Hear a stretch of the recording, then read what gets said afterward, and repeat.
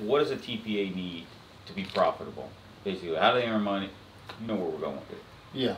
So back when you were on- I can charging only- five dollars I can only refer to the, when I was charging five dollars an employee a month, I didn't know if I was making money. You were just happy you had business. That was To be very lawns. honest about it, let's talk about it. A three hundred life crew at five dollars an employee a month, and that was total compensation, fully disclosed, is fifteen hundred dollars a month.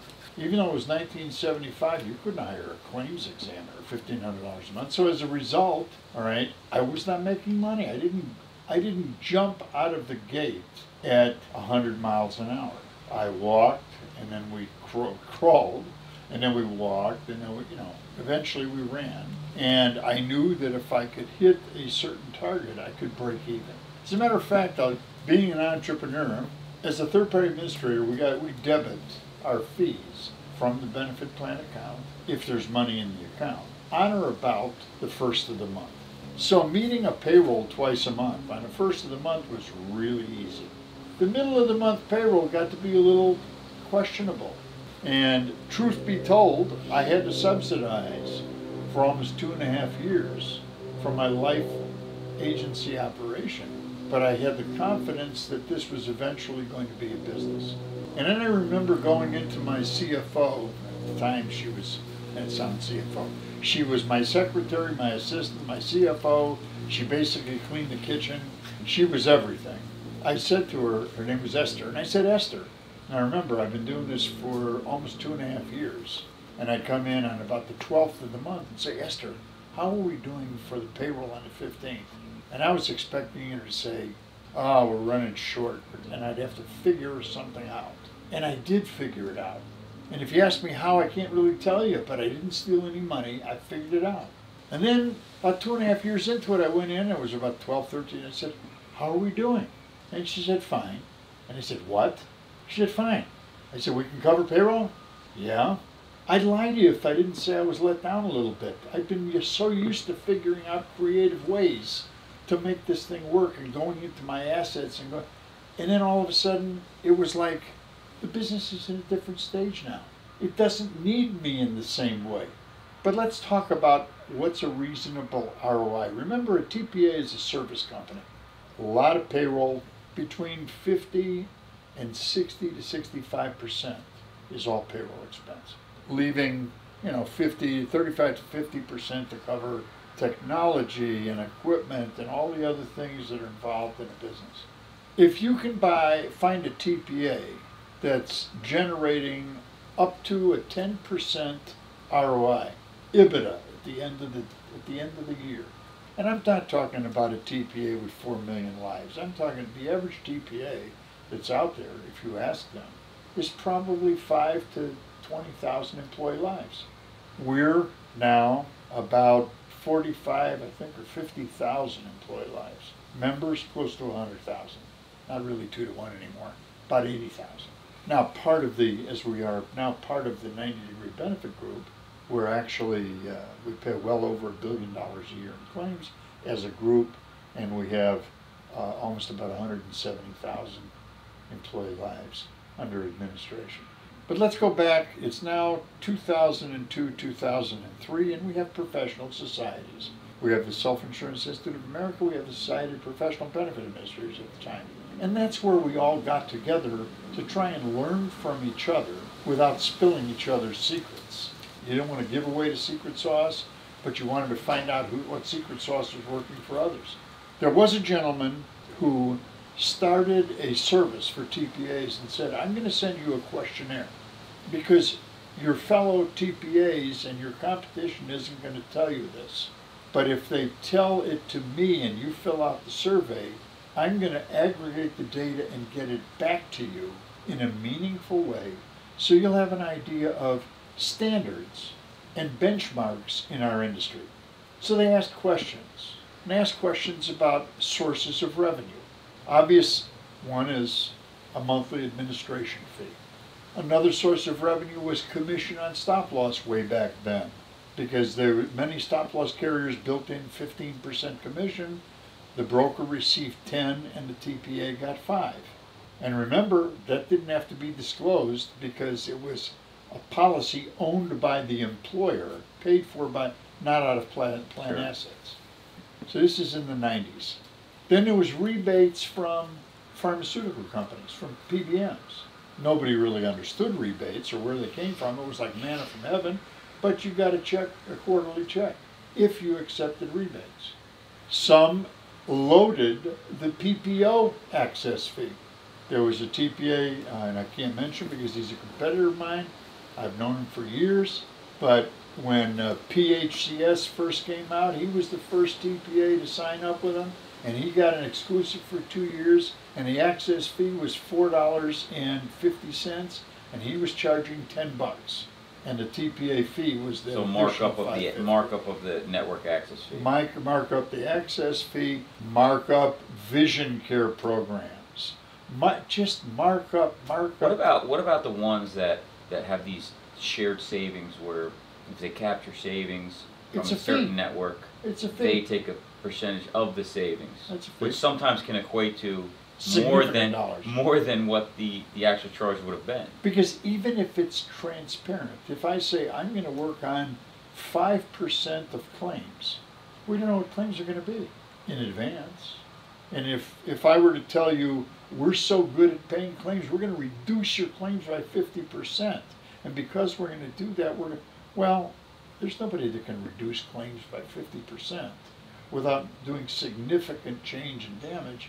And if I'm gonna use five percent of, you know, and on fifty percent, I've just gotten a significant boost in the monthly fee, which you don't see. You see the core administration fee. So what, what this gentleman did, he had about two hundred and fifty or two hundred and eighty TPAs, of which we were one. We answered all the questions. And he came back, and in two thousand and three, I think, is when he introduced the two thousand and two results. The average TPA's average size account was two hundred and eighty some odd employees back then. And the average fee needed to break even was just under forty dollars an employee a month. This is in two thousand and three. I think it was thirty-eight or thirty-nine dollars and fifty cents. I remember that number. So if you take a ten percent markup for, you know, in 15, 16 years, we're at forty-five. Right. So the, the bottom line is, what, the- and that's a two hundred and eighty life group. It has to go up for a smaller group, Sure. and it goes down for a larger And group. that's strictly administration, that's none of the other Well, that's stuff. the TPA revenue Yeah. from all sources. That's not network access fee, that's not. Well, that's the load on the network access fee, if there yeah, is one. But it's not the cost of the network No, access no, fee, no, So that's- it's understanding it right, is, because, right. because the BUCA will come out at thirty-five with network in it, different story. Well, we, uh, because we bought our software system vendor in two thousand and two, had the opportunity to buy the company. So we have a software company, it's a claims adjudication company. We stopped supporting other users in two thousand and ten because we wanted to concentrate on our core business. We weren't a software vendor. But with that system, it gave us the ability to work with Taft-Hartley plans who were users of the system. And 2003 or 2004, Blue Cross of Illinois allowed self-funded, self-administered unions and employers to access the Blue Cross network because their dis- management said, we're never going to get those people as clients. They're self-insured and self-administered, but we could make revenue off them significant if we could let them access our network. So in order to access the network, their requirement was that your software system had to talk to their repricing engine. So we had a large hundred and some odd thousand member union in Lombard, Illinois, called Lineco. And they were approached by Illinois Blues, which is also in Texas and New Mexico and Oklahoma. And they said, we want your software company, the one we own, to build a bridge. They're gonna pay for it. The software we sold them was three quarters of a million dollars for the license. To get to build the bridge, we charged them a million and a quarter and didn't make any money on it. Not being a software guy, I could not understand it. How can I buy a car for three quarters of a million dollars and then spend a million and a quarter modifying it? It Didn't make sense to me, but hey, they did save a million dollars a month on the average for each month compared to their prior PPO, once we went live. So we had the repricing numbers for Blue Cross on our, we still do, it's antiquated now, on our system. what we found is that on the average, between a good commercial PPO and a net Blue Cross network, the difference is less than 4%. In other words, if you look at the deviation, you say, wait a second, all right, they're 20% here, but they're 14% lower here. And they're- Collectively. collectively, and you look, at the- it's a 4% benefit versus versus any commercial PPO. Yeah. Blues have, a, have the best contracts. Now, that doesn't mean they adjudicate claims. That just means that the contracts overall run about three to four percent lower than the rest of the PPO. Cigna, When you when you when you stack them, when you stack them up, with- put them on a no spreadsheet. manage, no risk management, no proper claims adjudication, price versus price. It's Right. kind of like the PBM industry where it's like, yeah, we get better pricing, but we don't manage the farm. Correct. Same thing. So we moved forward with that, that software system. And for until 2010, when we stopped servicing the employers, we were up to date and we could measure those differences. But now let's talk about how much money does a blues company at the time make on their network. Uh, Blue Cross of Illinois charged nothing for on, on physician professional claims, but they charged thirteen and a half percent of bill charges on facility claims. Now, what does that equate to? Well, back then it was roughly 50-50. Pharmaceuticals and physicians made about half, and the other half was outpatient surgery and appliances and all that. So basically, you could say their administrative fee was six and a half percent, six to six and a half percent of claims. So if you had a group, an average cost was ten thousand per employee per year. So hundred employees would generate a million dollars of claims cost in that example. And they were making an access fee of sixty-five thousand on a hundred life case. Pretty good margin. So they could say our administrative fees twelve dollars an employee, five dollars an employee a month. They were making sixty to sixty-five bucks on the other side. And by the way, that's not an administrative expense, that's a claims expense. Is it If you buy, if you buy that story, it's a claims, ex- to me, a claims expense is what Listen, goes out we had a conversation providers. for, with a broker, with an employer, just as early as yesterday, and he wanted to argue because the fees were higher. He didn't want the the the, re, the, the RBP vendor fee built in as a fixed cost. He said that's a claims expense. You can't put it in the fixed side Okay, so, but it's still an expense. because we broke move it. da- over- We broke it down as a uh, PEPM, and he didn't like that. Yeah. When you've seen fees, you'll see some T- TPAs will do, they still And do. I think I think A percentage think, of this. you know, listen, you can go back and forth, you can argue, I'm not here about individual TPAs, some are probably greedy and, and, and build the model, or build the model, compete with the ASO, because it's hard to compete against them, to come in with a, a fee and now sell it as a broker, as an administrator, it's difficult. So Well, they, you're not been, making it sixty-five, in a hundred life case, if you're not making Th- sixty bucks on, on giving people access to a network, then you're never gonna be able to. so they've gotta play the game and hide it in other revenue streams, because it's what the market's forced you to do, to make They sale. have to hide it, but let's flip to what I said earlier. They have to disclose it. At some point, it's supposed to be disclosed. The penalty for non-disclosure, aside from being criminal, which means jail time, the penalty is you must refund one hundred percent of what you received from the plan and pay a hundred and twenty-five percent excise tax penalty to the federal government. So if you were compensated hundred thousand dollars, you refund hundred thousand dollars to the plan, and you pay a hundred and twenty-five thousand dollar penalty to the government. Probably non-tax deductible. Oh, it's not. It- You know, it, it's, it's pretty crazy. In all my years, you know, people talk about discrimination and talk about, my gosh, what if my health plan is discriminatory? I can't mention the name of the employer, but we had an employer who had a self-funded plan. His son was not working for the company, except he was an attorney, so he did some legal work for him. Son got into an accident, and we're the TPA, and he's a good account and a nice guy. But he made enough money, he wanted to save as much money as he could, so he said, I want you to pay hundred percent of the claims that come through on my son's accident. It was in violation of the plan document. This is a- where, where employers will make exceptions that are. It's an exception, right. It was for his son, and it was about sixty-five thousand dollars of exceptions. Now, ninety-nine point nine percent of the time, he would never have gotten caught. But later down the road, two or three years later, some employee had a gripe with the plan, some kind of beef, and they sent a letter to DOL. DOL sends in an investigator. what do they do? They ask for random claims. They come to our office because we have the claims files, and they we bury them in a in an office in the back someplace. They say, "I want this file, this file." And the first thing they ask for is files of family members of owners of the company, and they discovered a sixty thousand. Now, what is the potential penalty there? Well, first of all, this employer, thank God, had no problem putting the sixty thousand dollars back into the trust, and he didn't mind paying the excise tax. They could have denied the deductibility of all employer expenditures to the plan, basically disqualified the plan as being tax exempt. The reason we have two very well-trained attorneys on our staff is not to protect us. Knock on wood, I have had, in the 45 years I've been in business, I could count on less than one hand the number of lawsuits filed against us that we've had to defend.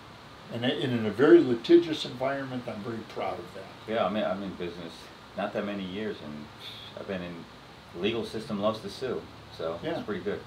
We, when we, what we do is we document. When an employer says, I want to make an exception, we explain to them what the The exception risk, is. yep. We explain, and we ask them to sign that they acknowledge that they received the information and they want us to do it anyway. We keep it buried in the file, only for our eyes and get, because you've got to do that. Otherwise, we don't make enough money to be sued and defend ourselves. We don't have built, we don't have a legal fee, legal defense fee built into our budget as a TPA. Can't afford to do it. So, if you've seen one TPA, you've basically seen one TPA. You So should I'm, ask. I'm a broker. I'm a broker. I've got business with a TPA. I've got business with an ASO. We've we've we've seen a lot of challenges with uh, brokers coming to me and, and they're in, in hell or high water here, so they don't get into it, or at least they're aware of it. What questions should they be asking to the administrator? Are they making revenue here? Is the PBM hiding revenue that they're using? They can even ask the PBM this type of stuff. What are the questions they have? How do they protect Yeah. themselves? I think the protection is if, as an, as a broker, you're my TPA, will you be willing to send a email or a letter to me disclosing all of the sources of revenue that you generate from my account so that I can keep it in my file and understand, truly understand how much you're charging my employer for, and then I can judge the quality of service to determine your value to my employer. It's interesting you say that because we've, we've come up with, in the brokerage industry, they're sending disclosure to brokers, but we've yet to, to cross that path with the administrator, so we'll probably work on one. Which is interesting that you brought that up because as I was leaving a prior TPA, I said to him that Eric had taught me about what we're doing and, and he told me some of the pockets that they hide. I said, I, I ripped out the contract and I sent an email to them. I said, please disclose to me over the last two years with my client how much money was made through all these different pockets. It's five months yet. I still have yet to get anything back from them. They said it's not a report they can run. It's not a standard report. We don't know. They don't want to show the money that's made. They have a 30 $35 admin fee, but they refuse. They're not You're, refusing. They're, you're they're just dancing them to disclose the secret sauce. Exactly. Well, they said you, you make money on this claims review program. So if you pay out a claim in error and you capture the money back, you get a third of it. Great. That's a problem in, in, in, in itself, and that's my fault for putting that in place and not knowing about it. But what is the dollar amount that you made from that? And they, they don't want to show. And there's several other pockets. So what other? I mean, I like I love the idea of the letter because it also protects yourself of Well, getting remember, bit in the some of them are not defined dollar amounts. For example, if you're gonna talk about utilization Well, management. yeah, you can ask in advance. management, you can the say co- the cost of it. Thirty-five, hundred Yeah, fifty yeah, dollars so, an so hour. in advance, it's just saying, hey, I'm okay, you're gonna make money, but if your fee's this, let me know where the rest of the money is. But I'm talking about even, even after the fact and you learn more as a consultant, you're like, oh, well, hold on. I need to go check this TPA to see if they're okay before I get myself in trouble. But creating that letter, I would say is a good start. A lot of people aren't gonna like it or wanna fill it out, but I think it's a start for transparency from the administration side, because we're, we're talking about it big in the brokerage side. A lot more money's hit on the other side, in my belief, from what I've seen. And I've seen a decent amount ripping through them now with other brokers. See, mo- like most employers don't realize that with ASO plans under a PPO agreement, not only does the employer pay an access fee, but the provider pays an access fee too in the form of a discount, like a credit card. Talk to me about that, break that down. All right. the uh, provider's supposed to be paid hundred dollars From PPO. from the PPO. The plan is charged hundred dollars by Blue Cross Blue Shield, the provider gets ninety-four to ninety-six dollars.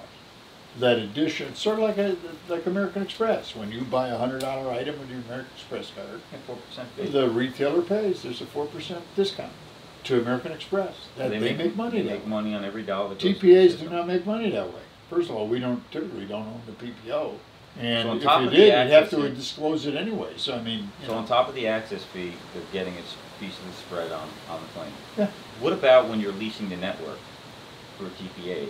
Does it work the same way or no? Well, no, the, the only, when you're leasing network, to my knowledge, now, Robin's probably more up to date on it than I am because been a while since I've been involved in that segment of the negotiation.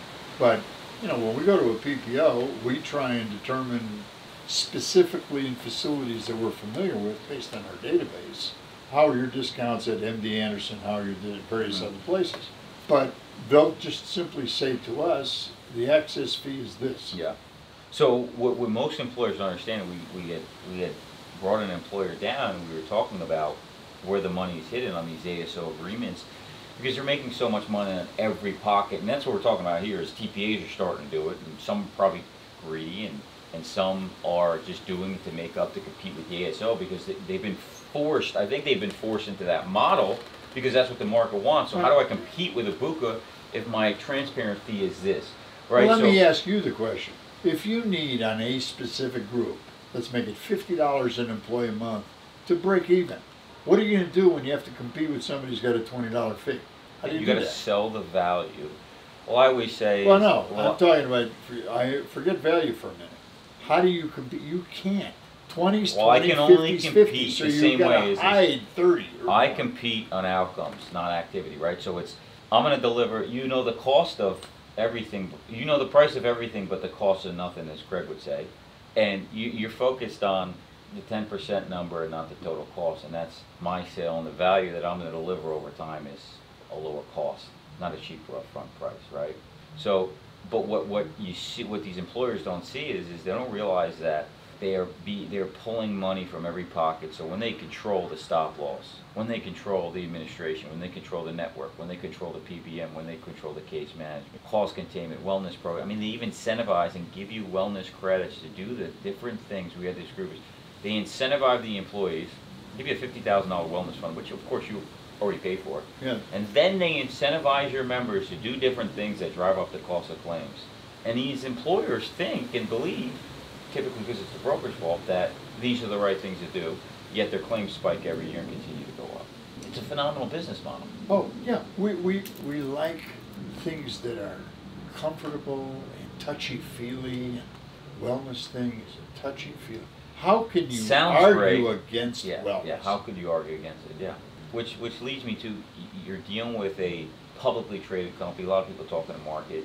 Talk to me about, you, you had mentioned there being mutual companies, like with, with life insurance, I've got mutually owned companies, which is by their policyholders, and that's how they, they were in the past and how it converted over. Talk to me a little bit about that. Well, that's what enabled me to get in two thousand and I say me, it was Robin and I and Texas Association of Benefit Administrators. We had been lobbying at the state legislature for some form of transparency for three years. It started with a white paper Hobson and I wrote in 2001, 2002. We pulled one section out of it and said that an employer is entitled to know where their money's going. If I'm going to say I sent XYZ insurance company a million dollars, what'd you do with the money? Don't just tell me you got a 28% rate increase. What happened to my million dollars? Why am I not entitled to know that? Because, and I didn't invent that. Mass Mutual was a mutual company. All groups over 50 employees, when I started, and until the HMO Act was passed in 1973, which changed everything, all employers got a record of, what we called it a record of operations. It was a P&L. When we went in as a Mass Mutual representative to present your renewal to this 100, 500,000, I had Trans World Airlines, it was a big account. Howard Right. Hughes, Howard Hughes, great Howard Hughes. the, you'd sit down and you'd say, here's the first ten, 10 months of operations of your plan. The premium you paid was ten million two hundred and forty thousand dollars. It was rounded to the dollar. And then we broke down claims as follows. As of the end of the accounting period, through the ten months, here's the claims that were paid. Here's the pending claims reserve set aside, because there's a delay in payment of claims. The claim became the responsibility of the plan at the time that you incurred the claim. You went to the doctor.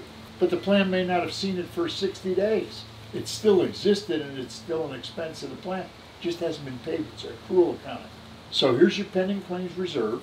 Here's the incurred but not reported claims reserve. Pending claims are claims that are in-house.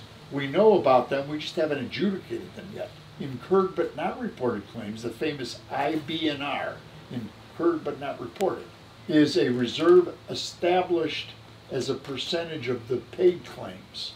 So typically it was about forty percent of paid claims. So if you had paid claims of a million dollars, they assumed that you had IBNR out there of about forty, hundred thousand dollars. We'd accounted for every penny on your specific account, not on the global business. Then there was a pooling charge, which today in self-funding we call stop loss.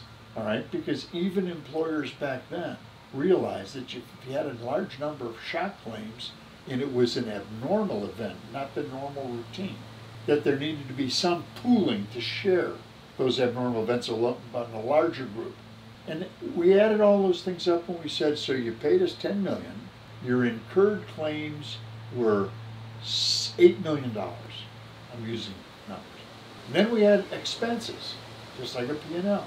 What were the expenses? There were three categories. G and A, general and administrative expenses of the carrier. That's what they paid for their buildings, their That's G&A. employees, the G and A. And they built an ROI in the G and A. They just didn't charge what it really cost, they charged cost plus ten, cost plus fifteen. Then there was commissions, right out there, before ERISA, right there. Commissions paid were this. And then there was premium taxes paid to the state, because every state gets a chunk of premium, or gets a tax on every dollar of premium sold. So every employer had full disclosure in the eleventh month when you were doing the renewal of their first ten months and where the money went. And at the bottom line, it was either a bracketed figure or an unbracketed. You either had a loss or a gain. And it was a mutual company. So therefore, the gain, if there was a positive, we literally would say, now, assuming this carries forward through the last two months, would you like us to apply this dividend to your next uh, premium? yeah. Or would you like a check for that amount? Either one. Everything was transparent. It was open. You couldn't walk in. This is when? This is in nineteen, well, through up to nineteen seventy-three. Now, what happened in seventy-three? Something called the HMO Act. And all of a sudden, Kaiser Permanente, which was the, the model for all HMOs, they said, we, we don't, we don't track claims experience. We employ all the doctors. So all the HMOs and the health plans said, "Well, we're not gonna report claims because we don't, we just have contracts with doctors and we pay them and they treat the people as if they did no cost accounting, which is absurd. So then the fully insured carriers said, well, wait a second, if they're not gonna have to report claims, why are we doing it? Puts us in a non-competitive position to them. So it all went away. There was no law, there, was nothing that said, we're gonna pass a law that says nobody gets transparent financial results on it. That's not the case. So when Hobson and I wrote the white paper, it was my argument, I said, why can't they do that? How can I get from an insurance company a twenty-eight percent increase for next year and they not tell me what happened last year? Because the mutuals had gone. And now the industry that was left was beholden to the stock market. Wall Street. That's right. And Wall Street doesn't like delay. They don't like delayed gratification. See, an insurance company doesn't know if they made money on a book of business until usually 30 to 36 months after the first case was written. It's called a treaty year. The treaty year, for example, there's a treaty year, January 1st of 2018 through December 31st of 2018. Well, they wrote a case January, which renewed the next Jan, February, February, March, March, April. So the December case didn't renew until December of 2019. And then it's got a run out. So you don't know what you did on that year's treaty for probably 30 to 34 months. Now, how's Wall Street going to report to the financial Earnings, press yeah. that? So the easiest thing to report is Aetna increased their market share by twenty-two percent. They grew by twenty-two percent last year. Wow! Guys, there's not enough business out there to write another twenty-two percent of the country. Everybody who's got coverage has got it. So how do you get twenty-two percent more? You'll write some new business, but you know, if you get a sixteen or seventeen percent rate increase on your existing book, it's a lot easier baby. to hit that twenty percent, isn't it? So Wall Street likes sales results. So all of a sudden, you got a twenty-eight percent rate increase, but they really didn't expect to get that. That was the first stick in the arm with the hot, hot poker. And, and the buyer went, oh, God, that hurts, oh, oh. And then the broker comes back like the hero in the, the, the knight in shining armor. Three weeks later, you know, you're lucky you're doing business with me, because I talked to Aetna. And because I'm a platinum broker with that, or whatever. Big- I have a big block with them. Yeah, I have a big block. They agreed to sixteen percent. And you go, oh, thank you so much. Still didn't know what happened to your money. But sixteen doesn't hurt as bad as twenty-eight. So it's, it's, it's the shell game. In two thousand and seven, we got House Bill twenty fifteen passed, which I know Aetna, uh, United Healthcare in Arizona, we tried to get it passed through friends of mine in Arizona. Arizona is a United Healthcare state. It's not a Blue Cross state. They control it. My contact went into the lieutenant governor's office and he called me and he said, I'm sitting in here. It's me against 18 United Healthcare lobbyists. I said, well, that's a fair fight. So anyway, bottom line is trying to protect the interest of the public and the employer to try and, quote, get some level of control over the insanity that exists in the medical industrial complex, which Hobson calls it, is very, very And, difficult. and now you look at the stock companies or Wall Street and what they you've seen again instant gratification is well geez there's this thing called pharmacy and it's going up faster than anything. Let's buy into it, man. And Let's, let's, let's buy invest. and you got every single one of them buying out PBMs. PBMs. PBMs buying insurance companies now. Well, it So really it's, it really works this way. The PBM acquisitions started about eight to ten years ago. The multiple on PBMs were 10, 12, 14 times EBITDA. That's that happened, and what what did that do? That left larger players instead of a bunch of regional players. Mhm. Well, once you've got mostly large players like CVS and Express Scripts, ESI, what do you do next? What does Wall Street do next? They try to merge the big ones into bigger ones because bigger is better and bigger means less market competition. You border we see it, we see it all over um, on the TPA industry, the carrier industry, the PBM, the brokerage industry. Less competition, bad for the end consumer. Mm-hmm. Yeah. So a lot of people out there, you've got the brokerage industry, a lot of people are fighting, come to the table, with big talk online is trying to fix this healthcare problem. And we're in 2019, nobody's figured it out. We think we do. We think that transparency, we think all these things that are out there and new are going to fix it. And my thought when I have this question comes up in seminars, and it's not a popular answer, what I say to them is, I don't think it's going to happen anytime soon. I think human behavior and the buying behavior of humans with respects to other things, yeah, I would argue, oh, people, older people are going to use Amazon, think buy things on the door. But I think when it comes to healthcare, their buying behavior is not going to change, and it's going to take 30 years till people that are older than me, even my age and a little bit younger, they're going to have to die. And the newer consumer of buying healthcare has to come in to change it before we see that shift, if we see the shift at all. What's your opinion on it? Well, I've learned that uh, there really is no fix or solution to the healthcare pricing problem. There are side steps, there's different paths. We've got insatiable appetites as it relates to healthcare services. Everybody wants to live, we want to live as long as we can. We've proven that already. It's breaking Social Security because when Social Security was started, the average male, and actually they broke it down into white male and non-white males, had a life expectancy of 61. Females had a life expectancy of 65, but there weren't that many females in the workforce. You know why husbands die before their wives? They want to. But anyway, that's not exactly a good thing to put on. It's a little sexist. But anyway, It's a little joke, then, a little joke. yeah, a We got a little little- joke. a back little then, humor in the back then, uh, when Social Security also black males died at 55. black females died at about 60. So when they set up retirement, they said, hey, we're not going to have a lot of people reach retirement, so we can fund it. Nice scam. Yeah, what we've done now is now it's quite possible that you will live to age 100 and, and you'll probably be viable up to close to your life expectancy. I mean, it's amazing. How we're going to afford that, I don't know, because you're going to require a lot of medical care. Remember, the big hit to healthcare right now is the baby boomers. 10 million a day coming onto Medicare and coming onto the system a day. And these are not people who are all out there jogging all day and working out. These are people who are couch potatoes watching the, the, the World Series. So they're going to require health care because they want to live. So what you've got is a exceptional demand for services. In fact, the demand really currently exceeds the, uh, exceeds the supply. There, doctors, we haven't built a lot of new medical schools.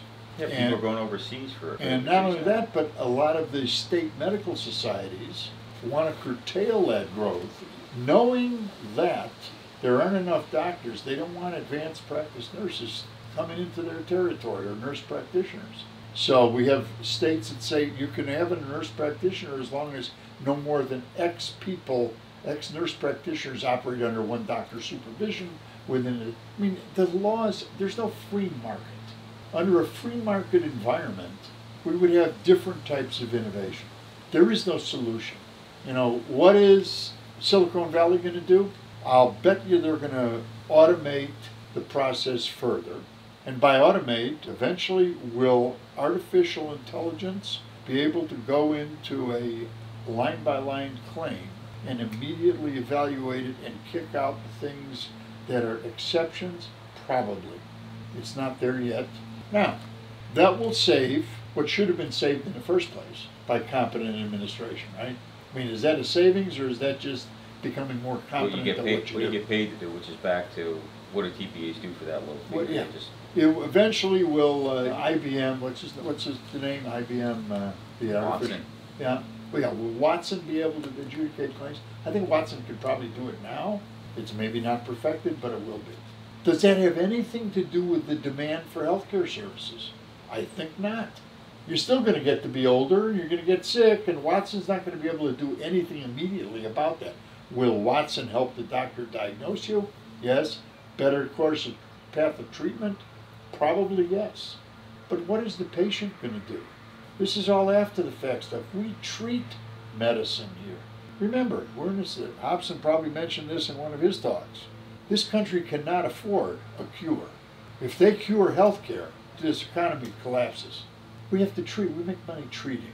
We don't make money building a car that lasts a hundred years. We build a car with a three-year, fifty or hundred thousand mile warranty and expect it to crap out at the end of the warranty, so you buy a new one. Well, Very you said, what was that number you gave me, that the cost of medical care is sixty percent of your total spend is Oh, what? uh, yeah, sixty percent of what a, the average human being spends in healthcare is spent within the last six months of their existence. Fighting, I mean, you'll even see it on commercials. There was that commercial for whatever medication that will help you live up to six months longer. It was in the top, it was the name on the top of a building in New York Yeah. in the commercial. I don't remember what it was, I should. But nowadays, hey, listen, you watch television and you'll see a commercial that says if you go to sleep at night and wake up in the morning, you may have, and you need, oh, oh, oh, Ozempic or whatever it is. The patient, our expectations are, I'm entitled to everything available in medical science at no cost, and it's the only economic model that I'm aware of where people are so vehement about their entitlement. I don't think everybody go out to the man in the street and say, "Are you entitled to drive a Rolls Royce?" Oh no, no, I uh, I wouldn't do that anyway. I want to stretch Prius, okay? But if you ask somebody in the last six months of life entitled to two million dollars worth of care, absolutely. Yeah, I think it's, it's a challenge of when we talk about it and we look at it, of, it's crazy not to do it, but what happens is, when you get in a position, as yourself, it's your kid, It's it's your easy to talk spouse, about it if it's not you or your family. you throw, everything goes out the door, and I think that's what happens a lot of times, where it's like, I don't care. Right. And you know, the fall guy in this whole thing is the insurance industry. Now, I'm, I'm a part of it, I guess. but I don't think that they're, they should be the fall guy. They're simply administrators. I think they, I think the insurance companies, I say who does it blame, and you can argue, this is my hypothesis, is we gave the consumer what they wanted. We gave them access to any doctor they want, go wherever they want, copay, we'll stick you next year for it. And we create this facade that you have an entitlement to it. Instant you pay a- gratification, future payback. You pay a premium, you're in, I'm entitled, I mean, that's what employees will say on, on the consumer, on the, uh, broker side, is I pay my premium. I don't understand why this isn't covered. But come renewal time, and come when they have to make a contribution, they're not very happy. So it's, Well, the insurance it's- industry has never been, the insurance industry has never been good marketers. I'll give you an example. You started in the life insurance business selling ordinary life insurance, right? sure. I think How most many brokers people, have, yeah. listen, listen to this PR. How many people want to buy something ordinary and pay a premium for it? Premium means high price, a premium price. And I'm going to sell you something ordinary. You should buy it. What kind of PR is that? If you're going to pay a premium, you should get something that's premier Sure. not ordinary. So we've done, the industry has done itself a, a major disservice. And it's also the fall guy. You know, when the PPO puts itself, or the insurance company, by the way, the health, the vertically integrated health plans are doing the same thing. It's going to come back to bite them. When you watch the commercials, Methodist Hospital in Houston is the providers for the Houston Texans what they're doing, they're, they're simply a facility. They don't provide health care. They provide a facility. A doctor and a patient decide on a course of treatment and they provide the health care through the facilities. But you see, it's not enough to just be a facility. You have to be a health care system or an insurance company in drag. Well, it's big, bigger is better, and we talked about this, and we'll close in a minute on your answer to the fix of healthcare. Americans want what's called social proof. In today's world, everything is about social proof. Because I don't want to be the first to do it, and if somebody hasn't stood behind it before, then I don't know if I should do it. And we talked, we talked about Amazon posted the uh, pre-interview. You know, I, I, in one of my talks, I said, who shops on Amazon and shop price, isn't it great? What if we were to do that for the healthcare system? And they say, oh, great, who, how many people would do it? All hands go up.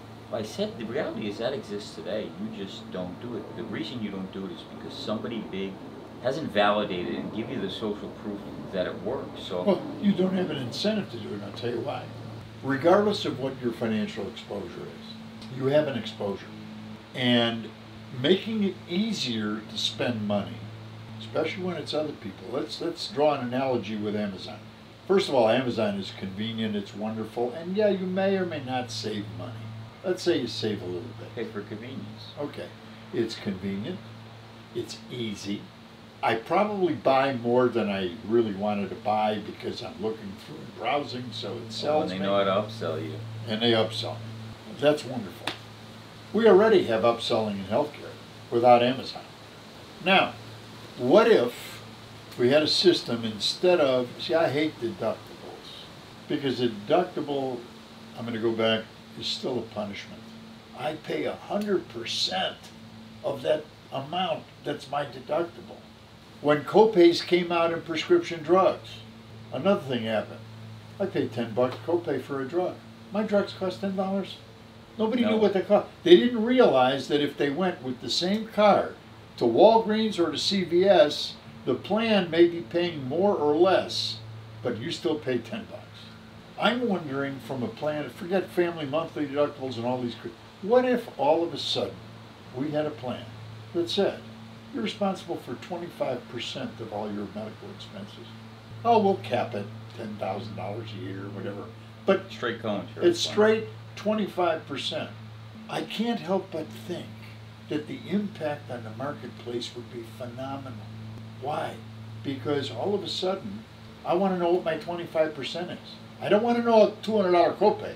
I'm respond, if you're charging me a thousand dollars, it's gonna cost me two hundred fifty bucks. If you're charging me ten thousand, it's gonna cost me twenty-five hundred. How much are you gonna charge? People are gonna start asking questions. That's right. And when people ask questions, the dynamic's going to change. Because now it's not some do gooders out there trying to lobby some people in Congress or whatever about, it's a patient actually saying, I'm responsible for twenty-five percent of my bill. Whether it's a fifty dollar bill or a fifty thousand dollar bill, all right, I'm capping it at ten grand or whatever. What do you think would happen in the market? It would be interesting to find out. I've always wanted the opportunity to test that on a relatively large scale. But again, HR people aren't gonna like it because it's noise. Providers initially aren't gonna like it because they don't know what to charge. You know, what now, card now, now, now we don't know what's gonna charge. That's right. People start asking questions, but it's a great way to actually drive the consumerism, which they thought would happen on deductible, high deductible health plans, but it just didn't work, so. Anyway, there are great, great opportunities for, I, I'd wrap this up by saying there are great opportunities for significant change, recognizing there is no solution, you know, ultimate solution. But I think we could make significant progress and change by keeping people economically responsible like the family. They're gonna ask questions, they're gonna be more motivated to stay healthy, because all of a sudden, I gotta build into my budget 20, 25, whatever percent of these costs are. How can I save myself so I can have another vacation instead of spending it at a provider? We don't do that now. I was the only employer. Our plan was a very simple plan, and I think it's worthy of discussion.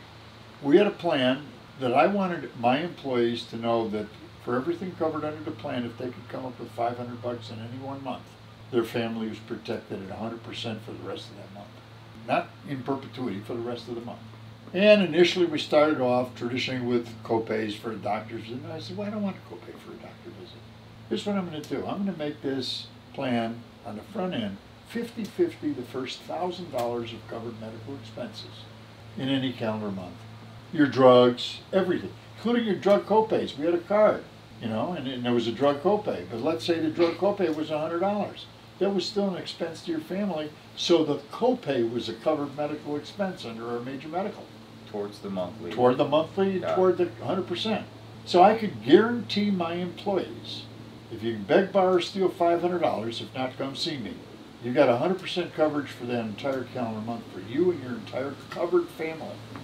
It worked, Hobson uh, disagreed with me, they're gonna abuse it, they're gonna, it worked better than my hundred dollar family monthly deductible. Now, it's not a credible example, Sure. I only had maybe hundred and sixty members under the plan. We had it literally up through the last year since- we became part of ninety. But we've had it, we had it for many, it worked great. And my employees, oh, they griped. Hobson griped. He said, wait a second, you mean, instead of a, a twenty-five or thirty dollar, or fifty, whatever it was, copay at the doctor's office? Yeah. If the, I go to a specialty, charge me four hundred bucks, cost me two hundred dollars? Yep. Yep. Yep, that's how it works. Is two hundred dollars gonna bankrupt?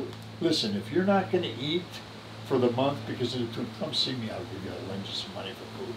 It's amazing whether you're inside the industry or outside the industry. An interesting dynamic in the sale to an employer I've found over the years. It's amazing. When PPOs came out, a lot of employers, if their wife's OB-GYN was not in the PPO, they didn't care how much they saved Forget about it, yeah. right? I'm not going home and she's gonna, I'm not changing my doctor. But the plan will save you hundred and fifty thousand dollars a year on all your employees. Buy your wife a doctor. I can't do it, can't do it, I don't care. So we're dealing with human behavior, we're dealing with economics, we're dealing with a Entitlement. entitle, all of those factors. How do you bring all of those? That's the challenge. That's what I love and still love, loved and still love about the opportunity in the healthcare sector, in the financing of healthcare services, the creativity you can bring to the table. We'll leave it there. Ed Jacobson, founder Intrust. Ed, thanks so much. There you go. We'll do it again. Heads Up Adviser. We'll see you on the next one.